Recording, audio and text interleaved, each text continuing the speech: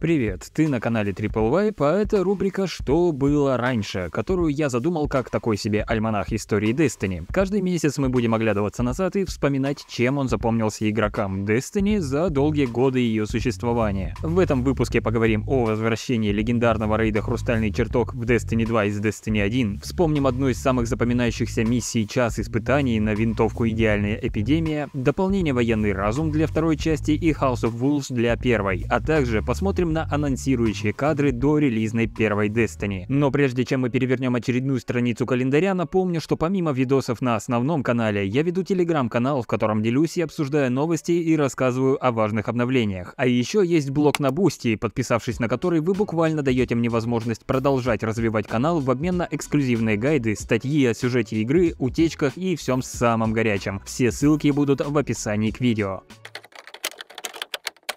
Спонсор сегодняшнего видео – проверенный сервис Dwing.net, который отлично подойдет тем игрокам, у кого нет постоянной команды или просто тем, кто ценит свое время и нервы. Благодаря обновленному функционалу сервиса больше нет необходимости передавать свои данные. Сотрудники Dwing помогут завершить сложный квест, выполнить триумф, пройти новый рейд или получить заветный экзот вместе с тобой в качестве сопровождения. Сайт работает давно, новинок в ассортименте появляется постоянно много, а цены стали ниже и доступнее. Теперь на Двинк есть все, чтобы обеспечить тебе комфортную игру. Ну а по промокоду TripleVibe мои зрители могут получить на сайте специальную скидку в 15% на все предоставленные услуги. Заинтересован? Ну еще бы, проходи по ссылке в описании и пользуйся качественным сервисом. Ну а если остались вопросы, смело пиши оператору на сайте и получай ответ.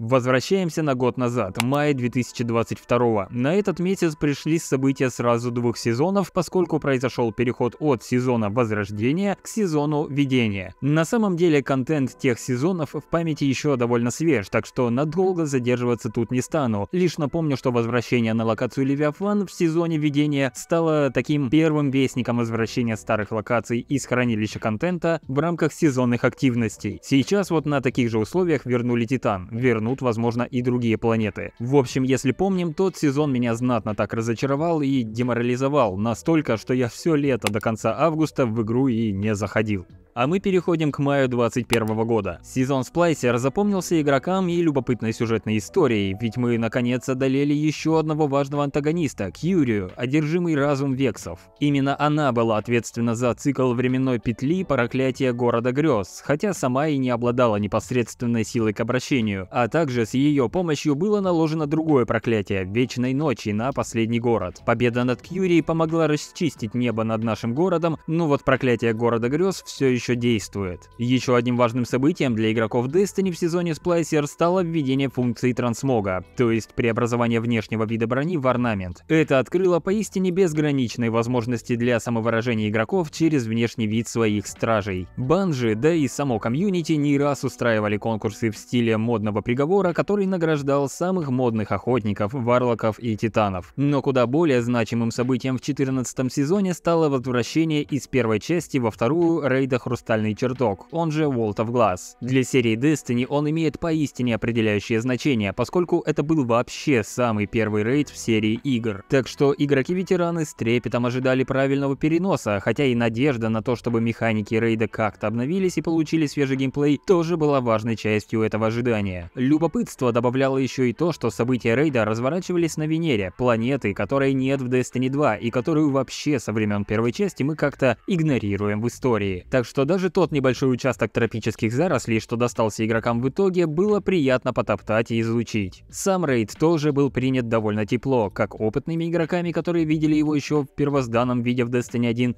так и новыми игроками. Изменения механик оказались достаточно лояльными и не перегнули сложность, чтобы не отпугнуть игроков, что было важно, ведь рейд доступен всем игрокам бесплатно. Ну а опытные команды стражей рейд привлекал отменным лутом и новым редким экзотиком, мифоборцем вексов, винтовки, девушке, о которой можно было буквально снимать отдельный фильм, настолько это культовое оружие для сообщества Destiny.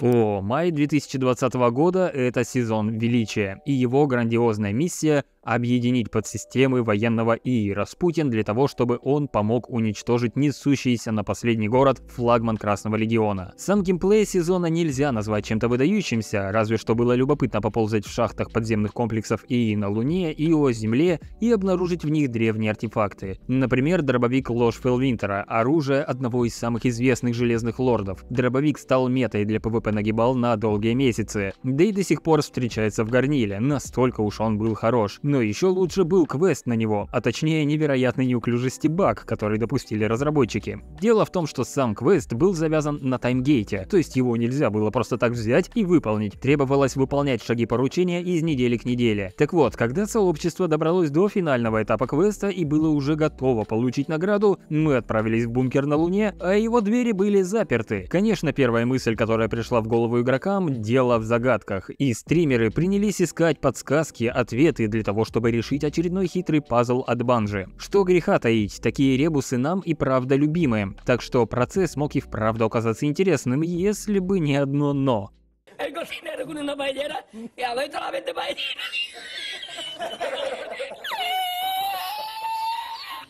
¡Asómate! ¡Asómate! ¡Mira dónde llega el agua! A 500 metros Y ya no fui más. Me fui andando a coger amarillo hasta hoy.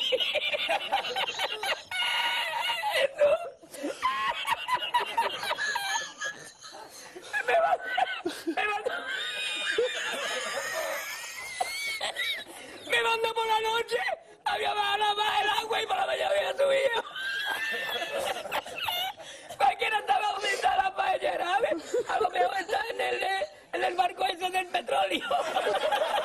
Никакой загадки на самом деле не было. Двери в бункер не должны были быть закрыты, и это просто оказалось багом, который, конечно, позже починили и дали игрокам завершить квест, но, как говорится, осадочек остался. И теперь игроки дважды или трижды будут думать, столкнувшись с очередной загадкой в игре, а не баг ли это. Ну и, конечно, нельзя не упомянуть об еще одном значительном событии того сезона – live-ивенте с финалом. Тысячи стражей собрались по всему миру в один час для того, чтобы в живом формате понаблюдать наблюдать момент, когда Распутин даст залпы по угрожающему нам кораблю, тем самым сбив его курс и подарив спасение жителям города. Это было и правда потрясающим событием. Я до сих пор вспоминаю тот ивент с мурашками на теле. Так это было круто, так грандиозно, но больше подобного масштаба в Destiny живых ивентов не проводилось. А жаль. Помню, что тогда смотрели за развитием событий вместе с вами на стриме и побили рекорд по просмотрам у меня на канале. Круто было. А еще в мае 20 в сообществе начали витать предположения о том, что тьма, приближающаяся к Солнечной системе, уничтожит планеты и некоторые локации удалят из игры. Да не, говорили игроки, не будут же разработчики вырезать контент. Ну да, не будут, ох, как наивны мы были.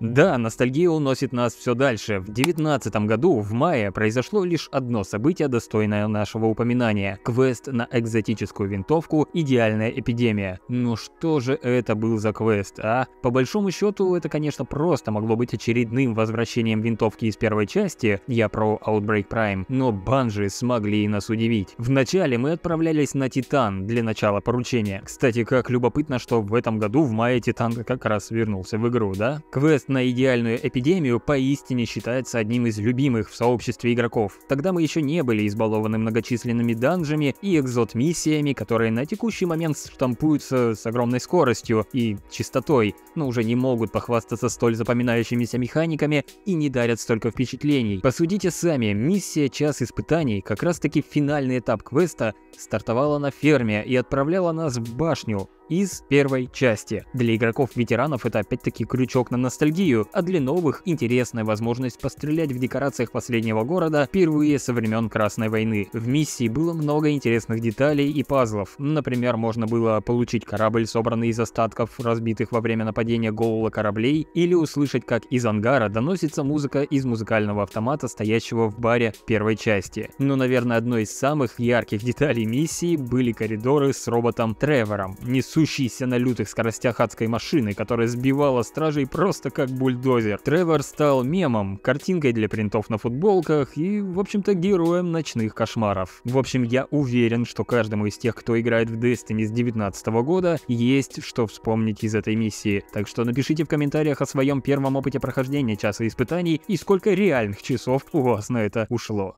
В мае 2018 года для Destiny 2 вышло второе сюжетное дополнение «Военный разум», которое впервые в рамках сиквела представило игрокам Марс. От дополнения были довольно высокие ожидания, а точнее ставки были высоки, поскольку предыдущее проклятие Сириса вошло в историю игры как худшее дополнение, о чем игроки не стеснялись говорить. Так что с релизом «Военного разума» мы все надеялись на то, что разработчики приняли фидбэк и провели работу над ошибками. И, по правде говоря, так и получилось. Нет, Конечно, я совру, если скажу, что военный разум хорошее дополнение, но оно как раз таки дало игрокам время на восстановление доверия и добавило в игру хоть и немного, но все же нового контента. Некоторые из него был довольно спорный, но хоть короткая сюжетная история была более-менее понятной, в отличие от проклятия Сириса. Во многом теплым оценкам дополнение обязано разработчикам. Его делала студия Vicarious Visions, которых тогда просто боготворили и говорили, что вот они знают, как делать игру, в отличие от тех же банжи. Забавно, конечно, но у меня и у самого тогда были приятные впечатления от дополнения. Я помню, что делал немало контента и постоянно стримил в те дни, поскольку тупо изголодался по новым наградам и активностям, а уныние, в котором пребывала игра, уже нормально так подутомило. Кстати, об активностях. С этим дополнением открылось еще одно рейд-логово Левиафана «Звездный шпиль», пожалуй, самый нелюбимый и самый на тот момент сложный рейд. Я его прошел сам, пожалуй, меньше из всех остальных рейдов на тот момент, и по памяти памяти до сих пор безупречно не назову все механики. Хотя и зачем они мне сейчас в памяти, правильно? Еще с дополнением появился Вестник Апокалипсиса всех дальнейших сезонных активностей. Эскалационный протокол. Типичный хорд-мод, коих в Destiny на данный момент было просто десятки. Отражать толпы врагов, чтобы в конце убить босса с простыми механиками, было довольно уныло, но для многих квестов необходимо. Усугубляло опыт еще и то, что в активность нельзя было залететь заранее собранной командой из шести человек. Макс максимум втроем. Но вот чтобы закрыть успешно все 7 волн активности, нужно было как раз больше людей. Вот и танцевали на Марсе с бубнами, залетая туда-сюда в надежде найти заполненное лобби или нацепить на себя друзей, оказавшихся в одной зоне. Да, неприятные воспоминания, но в целом, повторюсь, дополнение позволило перевести дух и спокойно ждать отвергнутых, которые уже изменили игру до неузнаваемости. 19 мая 2017 года миру был впервые представлен геймплейный ролик Destiny 2. Что сказать, банжи собрали пол сообщества неподалеку от своего офиса и провели масштабную презентацию. Мы же смотрели ее на прямой трансляции в одном из московских баров. Блин, напишите в комментариях, если кто-то был там в тот вечер.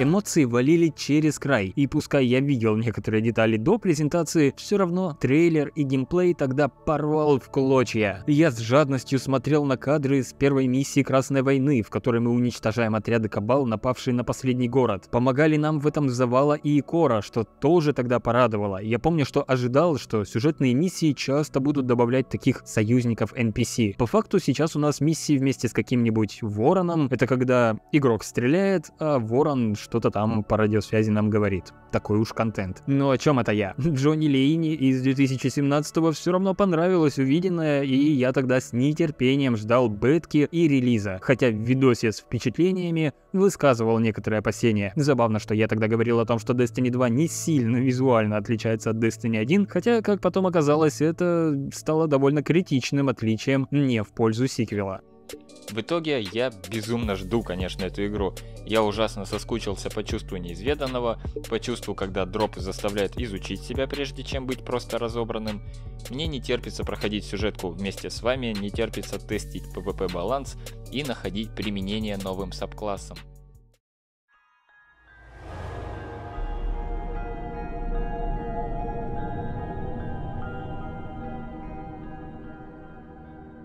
Май 16 года в Destiny 1 был удивительно тихим. Не знаю, как много из вас играли тогда в игру. Опять же, напишите в комментариях, буду рад увидеть кого-нибудь из бывалых. Так вот, месяц был тихий, однако одна интересная деталь все же есть, о которой стоит вспомнить. Апрельский патч. Не просто патч, а по сути такое теневое дополнение. Сейчас мы бы назвали это сезоном, но в Destiny 1 не было сезонной модели обновлений. Были DLC раз в год и все. Потом их просто патчили, периодически обновляли песочницу и запускали ивенты. Однако весна 16 отличается, поскольку месяцем ранее, в апреле, Банжи выкатили патч, добавляющий в игру новый контент. Патч был бесплатным, за него не нужно было доплачивать тем, кто приобрел дополнение, вышедшее годом ранее, The Taken King. И да, релиз состоялся в апреле, а не в мае, которому посвящен этот ролик, но в апрельском видосе, что было раньше, я не зарывался до 16 года, да и потом как раз таки именно контент этого апрельского патча мы и продолжали осваивать в мае. У патча была даже небольшая сюжетная арка. Стражам нужно было остановить сына Саватун Малака, который после гибели короля Орикса претендовал на трон и силу одержимых. Собственно, тот сюжетный квест и назывался «Претендент на трон». Мы остановили Малака в рамках буквально пары миссий и не допустили появления нового корабля, а в награду получили шлем на охотника Капюшон Малака. Вообще, то дополнение было пропитано эстетикой одержимых. В игру добавили броню, которая заставляла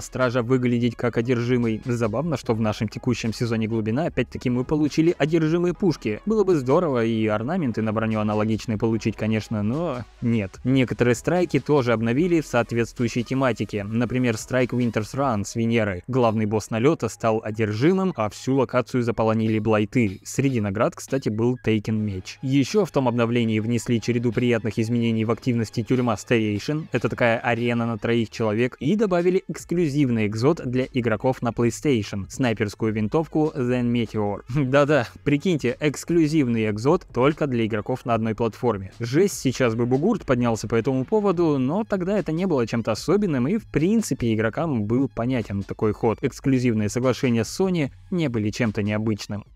15 год. Ух, как далеко мы добираемся. Настолько далеко, что в мае 2015 года мой канал Triple Vibe еще не существовал. Однако, конечно, в игру я играл. Так что вспомнить, что там было, труда почти не составит. По крайней мере, со шпаргалкой. 19 мая 2015 года в игре состоялся релиз второго дополнения House of Wolves — Дом Волков. Для многих оно считается неоднозначным. В первую очередь из-за того, что в нем не было в игру добавлено рейда. Вместо него представлен первый аналог активности с подбором игроков игроков и рандомной ротацией арен тюрьма старейшин, о которой я уже в этом ролике упоминал. Арена представляла собой череду залов, в которой можно было выполнять разные простые задания. Захватывать зоны, обезвреживать бомбы или уничтожать важную цель. После каждой комнаты команда возвращалась в центральный Airlock и ждала, когда Варикс скомандует открыть новую зону, а после успешного завершения всех заданий нам открывался ход в сокровищницу, усыпанную золотом с сундуками и ценными наградами. Да, сейчас это звучит как еще одна одна из активностей. И даже если бы ее сейчас в первозданном виде вернули в Destiny 2, скорее всего она бы была встречена ничуть не отлично от сезонных активностей. Но тогда это был единственным в своем роде режим. Кто помнит походы на Сколоса с Solar модом? Ставь лайк и вытирай ностальгическую слезу. Кроме тюрьмы, игрокам в дополнении House of Wolves был представлен важнейший PvP режим испытания Осириса. Да-да, сейчас у нас отношения с этим режимом, ну, прямо скажем, не лучшие. Но в 2000 2015 году в режим играла добрая половина сообщества. Все старались добраться до заветной награды, долететь на маяк, открыть сундук с особыми наградами, получить невероятно стильные сеты и посмотреть на скрытую локацию, в которой существовал таинственный культ Осириса. Я помню, как мы травили байки про Осириса, который жил тут, ставил эксперименты с вексами, в ходе которых якобы и погиб. Ну, мы тогда так правда считали, да. Про испытания Осириса тех лет я мог бы много говорить. Воспринимался режим совсем иначе, и с ним связано скорее больше хороших воспоминаний, чем нервных вечеров. Не припомню, чтобы тогда этот режим так же боялись, как боятся его многие сейчас. Сюжет же дополнения повествовал о восстании Дома Волков, клана падших, обернувшегося против королевы Рифа Марысов. Озлобленная предательством королева объявляла охоту на пособников предателей, и стражи отправлялись на преследование самых опасных из них. История вся вместилась в 6 миссий, которые, однако, довольно запоминающиеся запоминающееся. А еще мне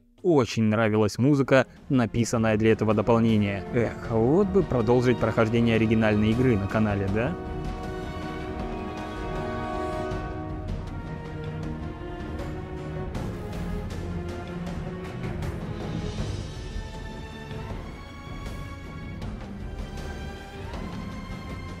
В мае 2014 года игра еще не вышла.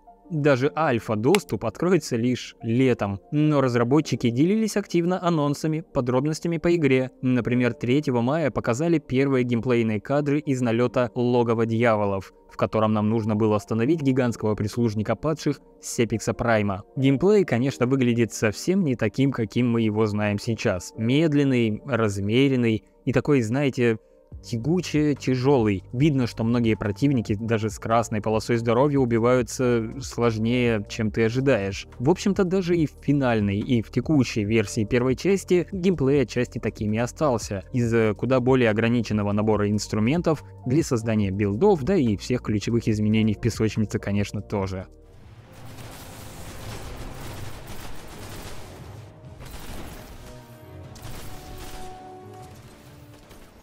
Что ж, если тебе нравится эта рубрика, пожалуйста, поддержи видос лайком и комментарием. А если хочешь отблагодарить и поддержать канал монетой, то не забывай подписаться на мой Boosty или задонатить на сбор нового оборудования. Я это очень ценю. А еще не забудь посмотреть инфу в закрепленном комментарии с розыгрышем крутых призов от моего приятеля. Там и коллекционные эмблемы, и физические призы вроде револьвера «Последнее слово» или оболочки призрака. Так что поспеши. На этом пока все. Спасибо за просмотр всего хорошего и до связи.